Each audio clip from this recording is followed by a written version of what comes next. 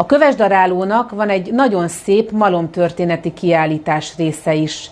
Erről dr. Sütő Mihályné Klárika nénivel beszélgettünk. Országosan is ritka vetőmaggyűjtemény található itt a kiállításon. Valamikor a karcak határában vetett magok gyűjteménye ez. A malom történeti gyűjtemény is egyedülálló Szabó Imre, Márkus Jani bácsi és Kovács Pálné hozta létre. Erről azt kell tudni, hogy valamikor a karcak határában az itt található magokat már, hogy mondjam, vetették, igen, és akkor ezeket termelték ez nem az én érdemem, megmondom őszintén, ez is ugyan egyedülálló, ahol most vagyunk, mint a Daráló Múzeum, ezt Szabó Imre, Márkus Jani bácsi és Kovács Pálné hozta létre, de ők már ugye nem mutatják, nem vállalják be, és én szoktam. Mint megtudtuk, már Debrecenből három professzor is megnézte a maggyűjteményt, aminek jó része az állattartás szolgálta, s villany vagy kézidarálóval őrölték meg, s lett aztán belőle kenyérnek való liszt, liszt vagy takarmány az állatoknak, madaraknak eleség, de a dísznövények magja is találhatók itt. Ezért, hogy ezt megtekintsék, már Debrecenből három professzor úr is a szakjának megfelelően ellátogatott, és hát megnézték ezeket a magokat.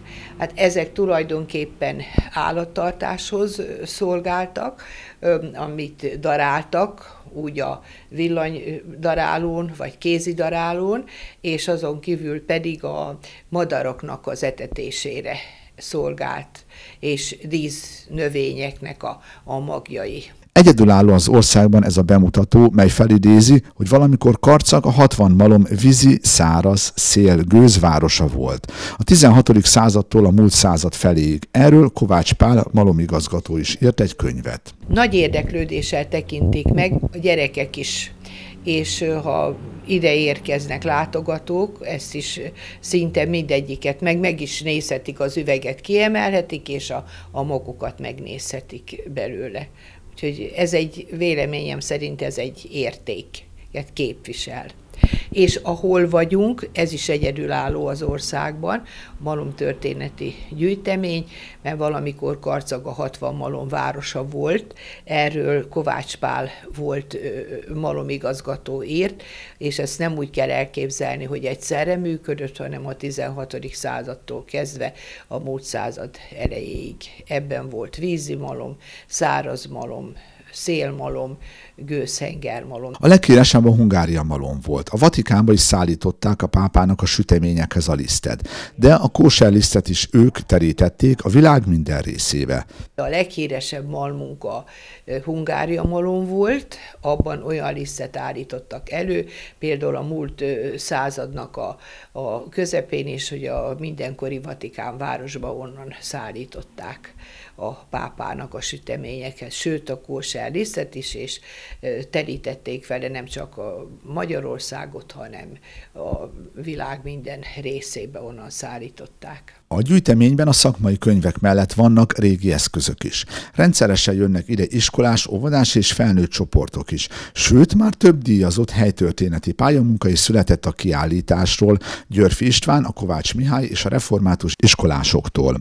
Amikor ez 2009-ben a, az akkori polgármester úrék, Varga miniszter úrék megnyitották, utána az iskolában lehetett pályamunkát írni a gyermekeknek, és a két tulajdonképpen bemutató részből, hát volt olyan gyermek, aki nem csak itt Karcagon, hanem megyei szinten is elismerés, sőt országos szinten is elismerést nyert. Én erre nagyon büszke vagyok. Ez már nem az, nem az én érdemem, hanem a, a mindenkori felkészítő pedagógusé, aki komolyan vette különösen a, a Györfi István iskolában, akkor Kovács Mihály általános iskolában, a református iskolában, és nagyon szép eredményt értek el. Én nagyon örülök neki.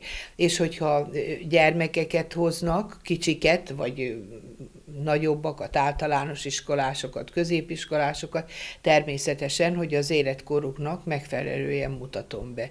És annyira meg lehet látni a csoporthoz tartozó gyerekekről, hogy, hogy milyen oktatás, nevelés történik abban az iskolában, ahonnan érkeznek, mert a viselkedésükről, érdeklődésükről, akkor mielőtt elmennek, mindig kérem őket, hogy egy énekkel, amit tanultak énekórán, köszönjék meg Klárika néninek, hogy amit láttak vagy hallottak, és olyan szeretettel.